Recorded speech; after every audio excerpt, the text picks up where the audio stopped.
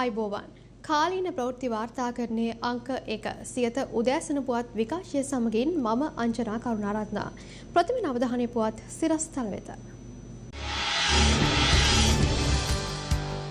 Fitch rating මෙරට ණය වර්ගීකරණය පහත දමයි. ණය වර්ගීකරණය පහත හෙළීම ගැන මහබැංකුවේ විරෝධය. රසායනික පොහොර ගෙන්වීම තවත් කල්යයි. පොහොර ගැටලුව සොයන්න ජනපති කොමිසමක් පත් කරන්න ඇමති අමරවීර ඉල්ලයි. උත්සව සමයට ඇමති බන්දුලගෙන් නිවසටම සහන මල්ලක්. දැන් දේශීය පුවත්. ශ්‍රී ලංකාවේ ආර්ථිකය තවත් දරුණු අතට පත්වීමේ පෙර ලකුණු පහළ වී තිබෙනවා. ඒ ජාත්‍යන්තර ෆිච් රේටිං වර්ගීකරණයට අනුව ශ්‍රී ලංකාව තවදුරටත් පහතට දැමීම හේතුවෙන් විදේශ ණයවලට අදාළ ශ්‍රේණිගත කිරීම වලට අනුවයි ශ්‍රී ලංකාව මෙලෙස පහතට දමා ඇත්තේ. මෙම තීරණයට ශ්‍රී ලංකා මහ බැංකුව සිය විරෝධය පළ කරමින් නිවේදනයක්ද නිකුත් කළා. ජාත්‍යන්තර මූල්‍ය අරමුදල සමග කටයුතු කළේ නම් මෙම තත්ත්වය පාලනය කරගත හැකිව තිබූ බවයි මහ බැංකුවේ හිටපු අධ්‍යක්ෂ වින්සන් මර්වින් මහතා සියතර ප්‍රකාශ කළේ. ෆිච් රේටිංස් ජාත්‍යන්තර විගණන ආයතනය මගින් මෙරට දිගුකාලීන විදේශ ණය ශ්‍රේණිගත කිරීම පහත දමා තිබෙනවා. ඒ අනුව ඒ සම්බන්ධයෙන් වූ ශ්‍රේණිගත කිරීම CCC සිට CC දක්වා පහළ දැමීමටයි එම ආයතනය පියවරගෙන ඇත්තේ. මේ සම්බන්ධයෙන් නිවේදනයක් නිකුත් කරමින් එම ආයතනය පවසන්නේ ඉහළ විදේශ ණයගෙවීම හා සීමිත මූල්‍ය ගලා ඒම් හමුවේ ශ්‍රී ලංකාවේ බාහිර ද්‍රවශීලතා තත්ත්වය අයහපත් අතට හැරමින් පවතින බවයි. ඉදිරි මාසවලදී ණය පැහැර හැරීමක වැඩි සම්භාවිතාවයක් කෙරෙහි ෆිච් රේටිංහි අවධානය යොමු ඇති බවද එහි දැක්වෙනවා. මේ අතර මේ හරහා ආර්ථික අර්බුදය උග්‍රවනු ඇති බවටයි ආර්ථික විශ්ලේෂකින් පෙන්වා දෙන්නේ. ඒ අනුව පවතින තත්ත්වය හමුවේ ජාත්‍යන්තර මූල්‍ය අරමුදල හා කටයුතු කළේ නම් මෙම තත්ත්වය පාලනය කරගත හැකිව තිබූ බව ප්‍රවීණ ආර්ථික විශ්ලේෂක හා මහබැංකුවේ හිටපු අධ්‍යක්ෂ වින්සන් මර්වින් මහතා සියතට ප්‍රකාශ කළා. ණය වර්ගීකරණ මූල්‍ය ආයතන ලෝකේ රටවල් වලට බොහෝ දුරට දෙනවා ලකුණු. අපි ඒකට කියන්නේ සවරින් රේටින්ස් කියලා. සුවෛරිත්ත ණය ශ්‍රේණි ගත කිරීම බැංකු ආයතන වලටත් වෙනම දෙනවා. එමේ ශ්‍රී ලංකාවට දීපු ලකුණු තත්ත්වය මේ තෙක්කල් තිබුණේ ඇත්තටම ගොඩක් වැටිලා. ඒකට අපි කියන්නේ CCC කියලා. ඒ කියන්නේ ඒගොල්ලෝ හොඳටම ලකුණු තියෙනවා නම් AA දෙනවා. ඊට පස්සේ A2 ඒ ආදි වශයෙන්. ඒතර අපි CC දෙකක් බවට පත් වෙනවා කියන්නේ ළඟදිම වගේ ඒ අය සමහර විට D වලට දාන්න තිර තියෙනවා. D වලට දැම්මම ඒ කියන්නේ මුළු ලෝකෙම පිළිගැනීම සම්පූර්ණයෙන්ම නැති වෙන තත්ත්වයක්. ණය දෙන්න කල්පනා කරන එහෙම නැත්නම් ස්වොප්ස් ගනුදෙනුවලට එන්න කල්පනා කරන අයට විශාල ප්‍රධාන වශයෙන් පොඩි චකිතයක් ඇති වෙනවා. අපි මේගොල්ලන්ට ණය දෙනවද නැද්ද? මොකද මේගොල්ලන්ට මෙහෙම ගියොත් වැටීමක් ඇති වෙලා අපි දීපු ණය බේර ගන්න බැරුව අපිත් වැටෙන්න ඉඩ තියෙනවා කියලා ඒගොල්ලන්ට හිතෙන්න පුළුවන්. හොඳම දේ තමයි ජාත්‍යන්තර මූල්‍ය අරමුදලට මොකද ඒ අය මේ ගෙවුම් ශේෂ අර්බුදයන් වලදී පිහිට වෙන ආයතනයක්. ඒ ආයතනය ගාවට යන්න බය වීමට හේතුව අපි එක්තරා විදිහකට අපේ දුර්වලතා රාශියක් තියෙනවා බදු අඩු කරගෙන ඉන්නවා අයවැයෙන් ගිය 111ක මට්ටමට ගිහිල්ලා තියෙනවා ඒ අය නොයෙකුත් විදිහේ තහංචි දාන්න ඉඩ තියෙනවා ඉතින් මෙන්න මේ මේ දේවල් කරලා මේක බේරගන්න කියලා. ඔය ෆිච් රේටින්ස් ආයතනය වුණත් ඔහම CCC ඩබල් C වලට බස්සන්නේ නැතුව තියාගන්න තිබුණා. අපි මූල්‍ය අරමුදලත් එක්ක ශක්තිමත් ලෙස සම්බන්ධ වෙලා හිටියානා. කෙසේ වෙතත් ෆිච් රේටිංස් ආයතනය විසින් මෙරට දිගුකාලීන විදෙස්ටයි ගෙවීමේ හැකියාව තවදුරටත් පහත හෙලීම පිළිබඳව මහබැංකුව දැඩි විරෝධය පල කරනවා. නිවේතනයක් නිකුත් කරමින් මහබැංකුව පෙන්වා දෙන්නේ කිසිදු නයවාරිකයක් ගෙවීම පැහැර නොහැරීම ඇතුළු ධනාත්මක වර්ධනයක් සැලකිල්ලට ගන්නේ නැතිව ගෙන ඇති මෙම තීරණය හරහා ආයෝජකීන්ට වැරදි පණවිඩයක් ලබා දෙන බවයි. මේ අතර රාජ්‍යමාත්‍ය ශයහන් සේම සිංහ මහතා ප්‍රකාශ කළේ දෙදහස් විසි දෙක වර්ෂයේ සිට නැවත ආර්ථික වර්ධනය සිදු සිදු කළ හැකි බවයි. මේ ලෝකේවත් ලංකාවේවත් කිසිදු ආකාරයක අරමුදයක් නැති අවස්ථාවක දෙදස් පහළවේ පාලන බලය ගන්න යහපාලන ආණ්ඩුව හිතුවක්කාර ආකාරයට ආර්ථිකය කළමනාකරණය කරන්න ගිහිල්ලා විශේෂයෙන්ම ණය මත රඳා සිටවීමේ ප්‍රතිශතය වැඩි කරලා. ඒ කියන්නේ විදේශ ණය ප්‍රතිශතය ඉහළ මට්ටමකට අරන් ගිහිල්ලා මේ ඇතිවෙච්ච අර්බුදවල ප්‍රතිඵල තමයි මේ තියෙන්නේ. ඉතින් අපි රටේ ආර්ථිකය කළමනාකරණය කරන ඒ විශ්වාසය අපි ගැන තියන්න අපි ජනතාවට තහවුරු කිරීම කිරීමක් කරනවා දෙදස් විසි දෙක වර්ෂයේ ඉඳලා අපිට පුළුවන් නැමත මේ ආර්ථිකය දෙපයින් හිටගන්න තැනට යන්න.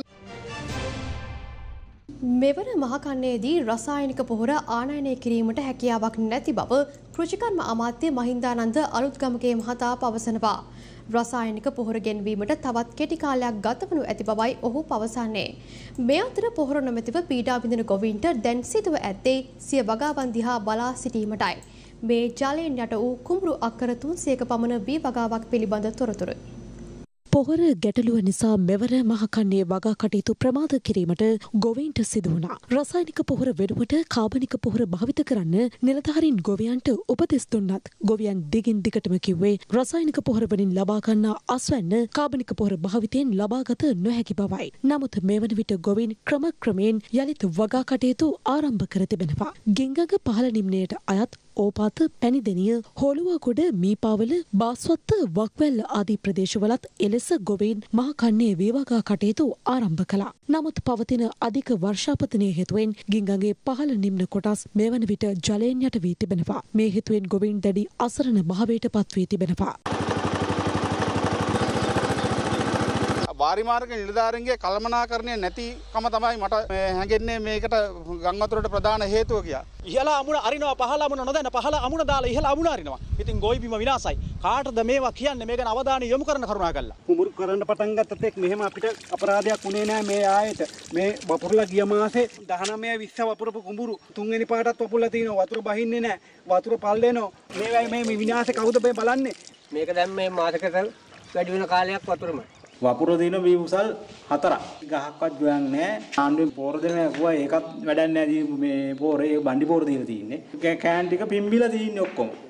මේ අතර මෙවර මහකන්නේ සඳහා රසායනික පොහොර ආනයනය කිරීමට හැකියාවක් නොමැති බව කෘෂිකර්ම අමාත්‍ය මහින්දානන්ද අලුත්කමගේ මහතා පවසනවා. සැප්තැම්බර් මාසේ 20 වෙනිදා නියම වෙලාවට ඒ පොහොර නැව අපිට ආවන අපේ රටේ මේ කිසිම අර්බුදයක් නැහැ. කිසි ගොවියෙක් පාරට බහින්නේ නැහැ. මේකේ කිසිදු වංචාවක් වැරදි ක්‍රමවේදයක් වෙලා නැහැ. රජයේ සහනාධාර දෙන්නේ කාබනික කෘෂිකර්මාන්තය. ගොවියෝ එළියට ඇවිල්ලා කිව්වේ අපිට පොහොර සහනාධාරෙත් එපා රසායනික පොහොර දෙන්න කියලා කිව්වා. ඒ නිසා ගොවීන්ගේ ඉල්ලීම අනුව රසායනික පොහොර ආනයනය කරන්න අවස්ථාව දුන්නා. ඒ අනුව අපි දැන් කරන්නේ අපි හරිත කෘෂිකර්මාන්තයට තමයි අපේ සහනාධාර වැඩසටහන යන්නේ. ඒ නිසා හරිත කෘෂිකර්මාන්තයට උනන්දු කරන ගොවින්ට සහනාධාර ලැබෙනවා. ඒක අකමැති ගොවින්ට කැමති නම් ඒ රසායනික පොහොර මිලදී අරගෙන තමන්ගේ කටයුත්ත කරන්න පුළුවන්. අපි ජනතාව අහුම්කම් දෙන ආණ්ඩුවක් ඇටියට අපි පොහොර ගේන්න අවසර දුන්නා. මේ ප්‍රතිපත්තිය හොඳ ගැන කවුරුත් කතා කරන්නේ නැහැ. ඒ ගැන අපි කනගාටු වෙනවා. සෞඛ්‍ය අමාත්‍යාංශය, පරිසර අමාත්‍යාංශය, මාධ්‍ය මේ හොඳ දේ ගැන කවුරුත් කතා කරන්නේ. අපි ඒ ගැන කනගාටු වෙනවා. රසායනික පොහොර ගෙනීම සඳහා ව්‍යාපාර කවුරුත් උනන්දුවක් නැහැ ඉදිරිපත් වෙන්නේ නැහැ මේක දැන් ලොකු ගැටලුවක් වෙනවා රසායනික පොහොර ගේන්න උනන්දු වෙන්නේ නැත්නම් වෙන මොනවත් ගේන්න උනන්දු වෙන්නේ නැහැ. ඒකට තමයි වැඩිම උනන්දුව.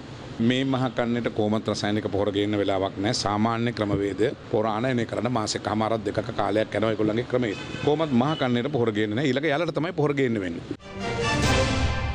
එළමෙන උත්සව සමය සඳහා අමාත්‍ය බන්තුල ගුණවර්ධන මහතා ජනතාවට සහන ලබා දීමට මේ දිනවල කටයුතු කරමින් සිටිනවා.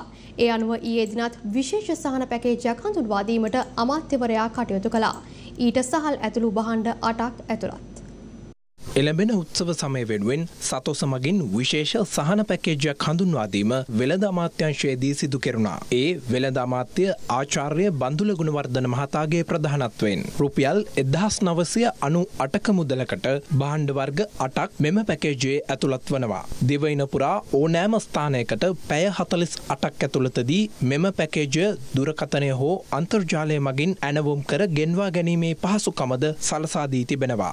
සමය වෙනුවෙන් සහන මිලට බහන්ඩ පැකේජයක් ලබා අත්‍යවශ්‍ය පරිභෝජන බහන්පයක් ඇතුළත් වෙන ලෙස. රුපියල් එකසිය විසිපහ බැගිම් වන සුපිරි සම් කිලෝ දහය. රුපියල් එකසිය විසිපහේ මිලට දුඹුරු සීනි කිලෝ දෙකකුත්. රුපියල් එකසිය හතලියක් වගේ ඉතාම අඩු මිල යටතේ තායිලන්තයේ හොඳම හාල් මැස්සං ග්‍රෑම් දෙසිය ග්‍රෑම් හාරසියක නූඩල්ස් පැකට් එකක්. තේකොල ඩොම්බර එකේ ග්‍රෑම් සීයක්. දුුණු ග්‍රෑම් හාරසීයක්. නියම සුවඳ සබං කැටයක්. නියම රෙදි සෝදන සබං කැටයක්. රුපියල් අනු පහක ඇල්ලි පබඩම් පැකට් එක්කුත්. නොමිලේ ලැබෙනවා මේ මිලට ඇතුළත් නැතු. සියලුම භාණ්ඩ මල්ල රුපියල් 1998කට ලබා දෙන්න කටයුතු යොදලා. ඉතින් මේ අපිට කළ හැකි උපරිම දේ තමයි අපි කරලා තියෙන්නේ. දෙවුන්දර තුඩුවේ ඉඳන් පෙරදුරු තුඩුවට එනතෙක් අපි දැන් මේ භාණ්ඩ මල්ල ගෙදරටම ගෙනහල්ලා දෙන්න හැදුවා. 1998 දුරකථන අංකයට කතා කරන් WhatsApp කරන් සතුස වෙබ් එකට යන් ලංකාවේ ඕනෑම ස්ථානයකට මේ බහන්න මල් ගෙනහල්ලා දෙනවා සඳුදා සිට පැය 48ක් රුපියල් 150යි අය කරන්නේ ඕනේ තැනක. මේ අතර තවමත් එළවලු මිල ගණන් ඉතා විශාල ලෙස ඉහළ යමින් තිබෙනවා. දඹුල්ල ආර්ථික මධ්‍යස්ථානයේ එළවලුවල තොග මිල ගණන් ඉතා ඉහළාගයක පැවතුනා. මේ පිටකොටුව වෙළඳපොලේ පැවති තත්ත්වයයි. පොඩ්ඩක් මිල වැඩි මත. යලි කියන්නේ හොඟක්ම වැඩි.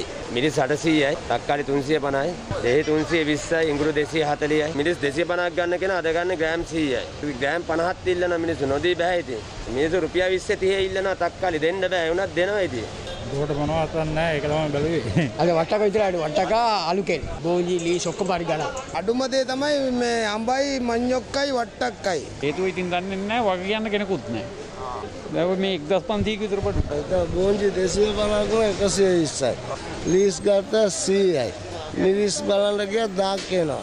තක්කාලි බලන්න ගියත් 440ක් එනවා.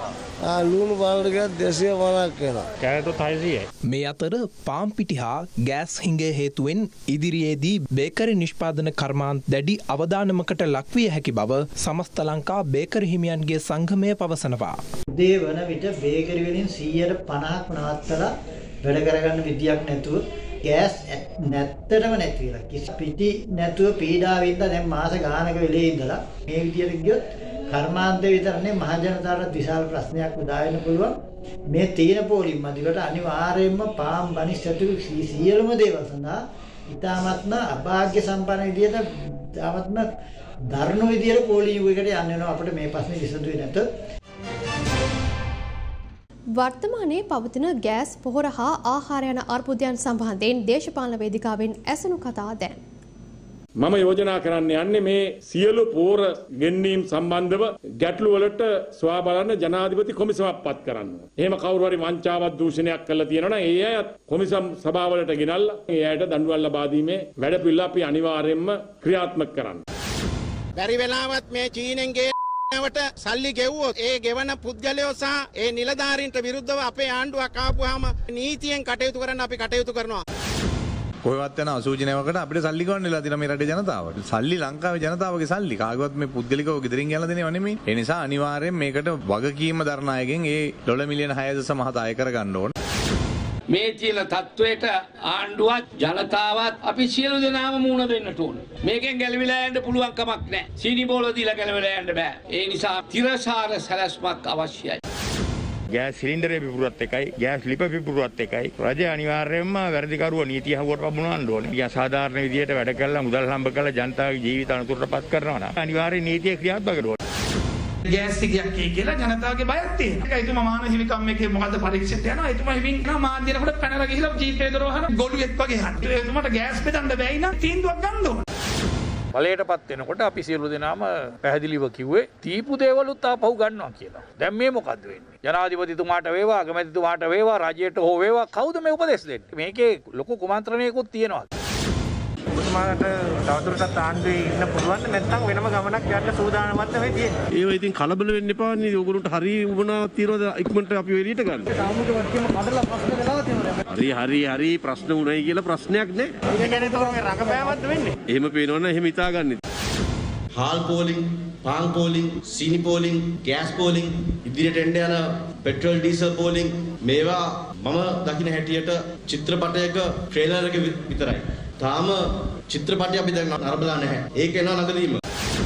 ලංකාවේ බලවත්ම පාර්ලිමේන්තු මන්ත්‍රී කණ්ඩායම තිබෙන්නේ ආණ්ඩු පක්ෂයට. විපක්ෂය ඊටාම වගකීමක් නැතුව හැසිරෙනවා කියලායි මම හිතන්නේ. ජාතික අවශ්‍යතාවයකදී මීට වඩා ගැඹුරෙන් විපක්ෂය හැපිරෙන්නට ඕනේ. මේ ආණ්ඩු බලයට පත් වුණාට පස්සේ දැන් සහලුත් පිටරටින් ගෙන තත්ත්වයට තමයි පත් කරලා තියෙන්නේ. සිංහල අවුරුද්ද වෙනකොට අනිවාර්යෙන් මම කියන සහල් කිලෝ එක රුපියල් 250ට දක්වා ඉහළ යන තත්ත්වයට තමයි මේ රටේ පත් වෙන්නේ කියලා මම කියන්න ඕනේ. අප්‍රේල් මාසෙ වෙනකොට හුඟා දුරට එළවලු සහ ආහාර මිල අඩු පුළුවන් වෙයි. ඒකට හේතුව තමයි දැවැන්ත වැඩසටහනක් බැසිල් රාජපක්ෂ ඇමතුමා මේ වෙනකොට ක්‍රියාත්මක කරන මුදල් ඇමතිවරයා හැටියට හොඳ ප්‍රතිපත්ති මාලාවකින් හොඳ ව්‍යවස්ථාවක් හදලා හොඳ රටට ගැලපෙන පක්ෂයක් හදලා තරුණයින්ට ඉදිරියේදී රට බාර ගන්න පුළුවන් විදියට හොඳ රටක් හදන්න තමයි මගේ නම් කල්පනා.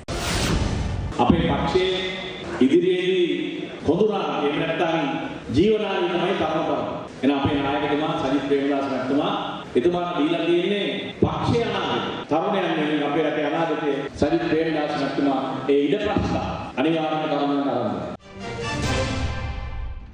එම පුවතත් සමගින් අපගේ උදෑසන පුවත් විකාශය මින් නිමාවට පත්වනවා. යළිත් හමුවෙමු අපගේ මධ්‍යහන පුවත් විකාශය සමගින් ඔබට සුබ දවසක්.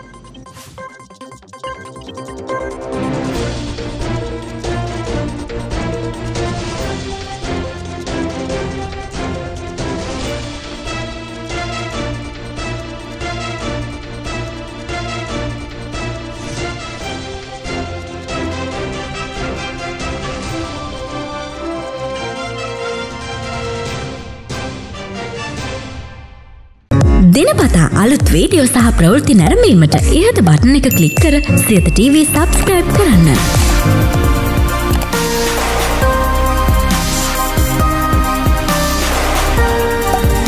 අලුත් වීඩියෝ ගැන මුලින්ම දැනගන්න මෙම සීනුව කලික් කරන්න.